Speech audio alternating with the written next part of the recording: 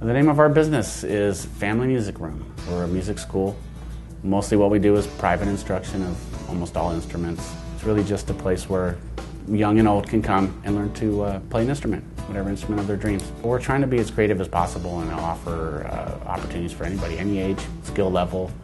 Uh, if somebody really wants to read and, and have a very formal lesson, all of our teachers do that.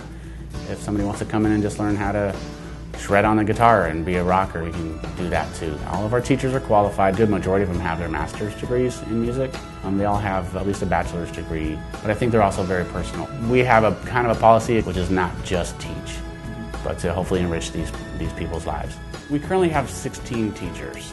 There are teachers here who only have a few students, but we also have some of our teachers who have as many as 40 students. Uh, once you've spent some time here and get to know the city and the people, the families here, I would have to say it's just one of the strongest areas I've ever been in as far as family involvement and parents who absolutely will do and go the extra mile for their kids. We are involved a little bit uh, more recently with the Unified School District and we're starting a, a choir out of one of the special needs type school.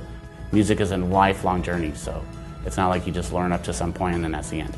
Someone told me in business was always find a place where you're needed. We feel like we're filling a need here. Our objective really is to not get rich, but to enrich. We hope you'll come on down to the Family Music Room. Our basic motto being, stop dreaming, start playing.